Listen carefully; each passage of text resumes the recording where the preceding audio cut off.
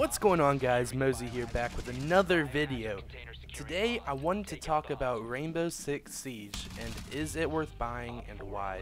If you don't know anything about this game, it had a very bad release a couple years ago, but the developers came back surprisingly and fixed the game, unlike a lot of other AAA games that usually leave their games to rot after they make all their money. So to answer my question, if you are a competitive gamer like me, there is no reason why you shouldn't buy this game. The whole game is centered around strategic positioning, visual cues, audio cues, and a breach and clearing style. The mechanics in this game are extremely different from other popular FPS games like Counter-Strike and Call of Duty.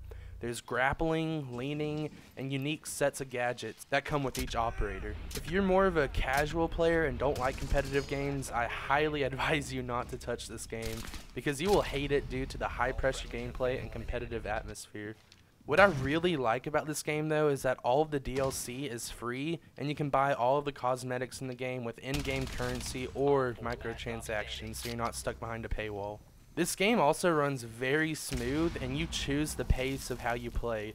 Your team can either rush in and surprise the enemy for a fast-paced game style, or you can capitalize on their abilities and play a very slow-paced game with a more realistic breach and clear style. The player base of this game is still very large, so there will be no matchmaking issues, and the community is very helpful to new players seeking to get better at the game.